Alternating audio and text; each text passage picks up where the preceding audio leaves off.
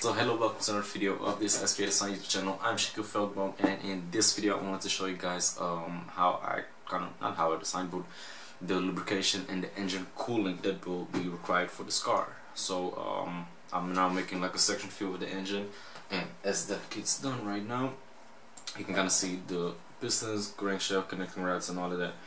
But in the center of it all, right here, is this channel and this channel will be um, on a pretty high pressure so a lot of engine oil, motor oil and everything will be flown through um, from kind of this this top the top circle right here. And it will well just in this channel there are on different places there will be like a couple of holes that are drilled as you can also see. And what um, because the the fluid and everything's under high pressure will kind of shoot these jets out of um, with just motor oil and just lubricating uh, fluids and everything onto not only the connecting rods here so there is a, a lot of friction that, gets taken away by the lubrication on the crankshaft and everything between the connecting rod and the crankshaft.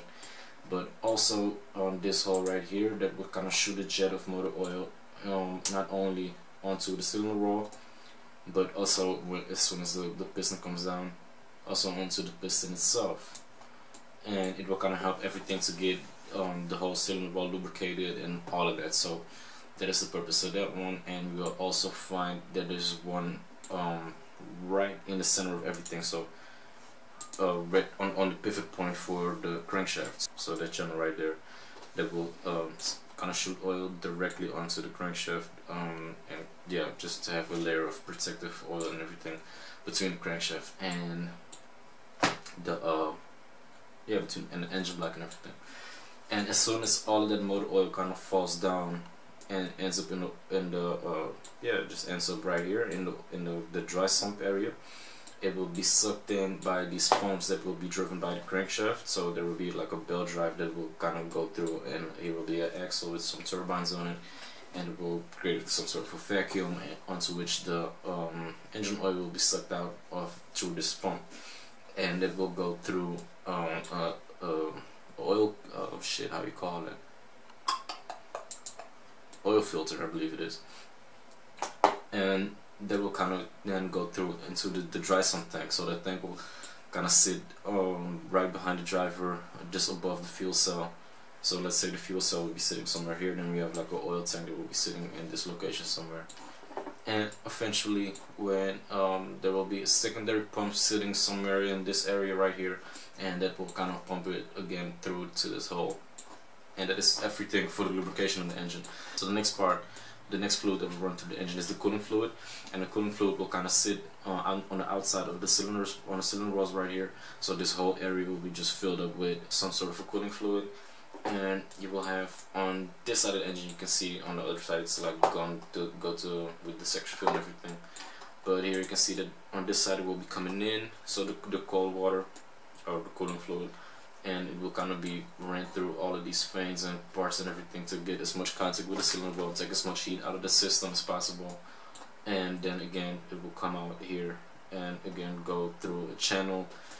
Um, yeah just here will be I will probably just make some sort of tube and um, that will be connected through this so for the water pump and everything because we need to also put some pressure behind it to really get the whole system working and everything and also to get it to get cooling even when the car is sitting still.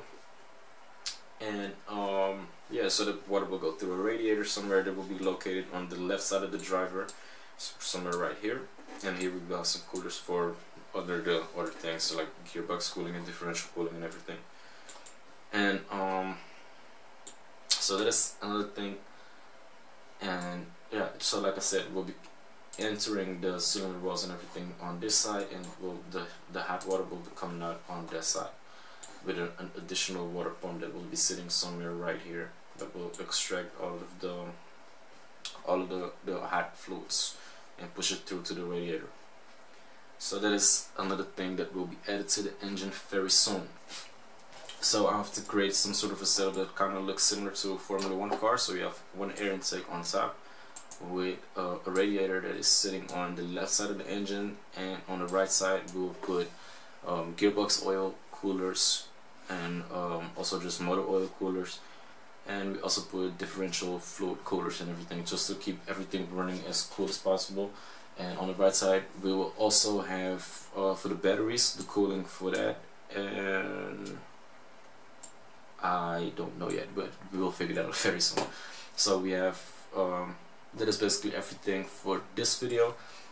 And um, yeah just let me know what you guys think if I should add anything and um, if I forgot anything if you know something that I don't know please let me know. And uh, yeah see you guys in the next video.